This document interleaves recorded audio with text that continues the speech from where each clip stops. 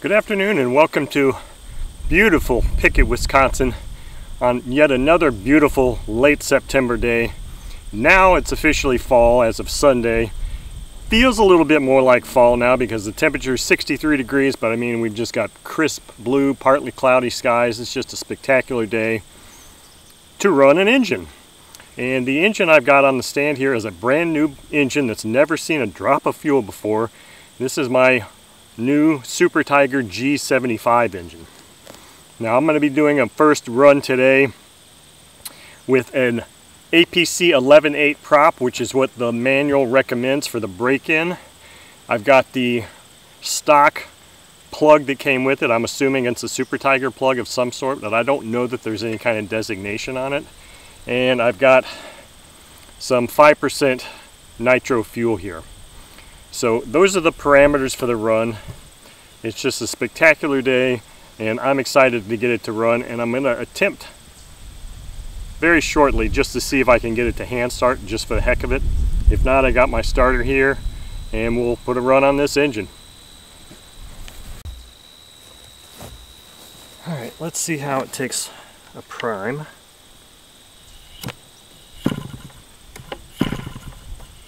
Seems to be primed up pretty good. Now I've got a glove on here on this hand because the high-speed needle valve is just a straight little beam coming out here and it doesn't look like it can come out. It's not angled at all. So it's a lot easier for me to grip and feel this from behind without getting too close to the prop to make any minute adjustments. I believe I've got this high-speed needle open about uh, two and a half turns from fully closed. Oh, don't tell me the Super Tigre plug isn't going to want to... Uh, it's not going to want to lock on there. That could be an issue. Hmm, okay. We're going to have to do something different with this starter. Alright, either that or I have to change plugs. So I'm going to use my starter that I have for an Enya engine and hopefully it's going to work here for us.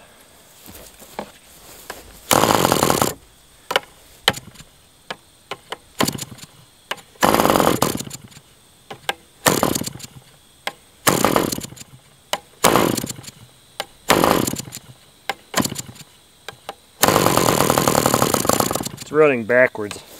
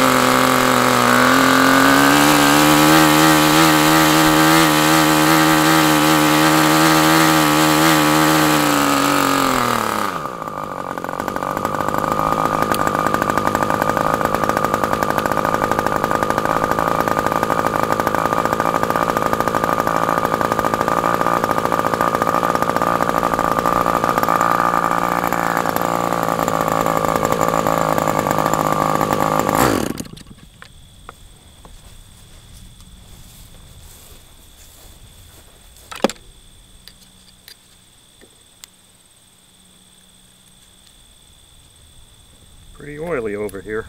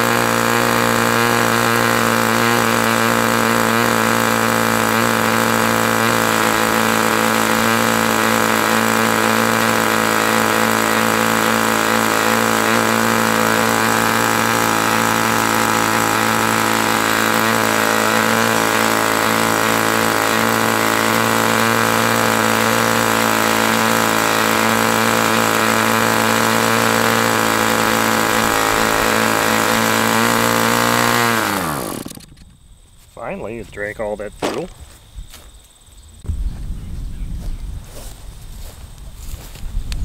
Well, how does it get any better than that? I mean, that's probably about as close to the perfect first run you could ever have. Now, see, that's an example of several things. A very high quality engine and a really kick-ass carburetor. Now, the only thing I did to this carburetor before that run was set the high-speed needle and I uh, pulled this throttle stop screw out just a little bit so that it would close just a hair without tuning it without having it running I just guessed. And the throttle the low speed settings seem to be a lot better. Now obviously I always even on first runs I sit there and I don't necessarily adjust for low speed but I like to test the low speed just to see how the engine will run at low speed or idle speed this engine ran beautifully, almost just like as good as some OS and Saito engines, if not even better. Uh, so I don't know. This thing was a little interesting. So this is the exhaust that came with the G90 Super Tigre engine that um, Mike had sent to me that we traded for. And this screw is pretty tight according to my screwdriver. I can get a bigger one on there, but it was it was rotating a little bit. It still seems a little loose, but it's, I mean, I can crank it more, but it's pretty damn tight. So I had a lot of oil coming out of this adapter here. So there was a lot of oil coming out of there. There's a lot of oil on the table here. So that was a very rich run. But man, this thing is just sweet engine. It's just beautiful. It hand started. I mean, how many engines will hand start that easily on the first run? Um, I can't say enough about this. This was a sweet score. It's a sweet engine, and it's only going to get better from here. So I hope you enjoyed watching this thing run for the very first time because I thoroughly enjoyed running it.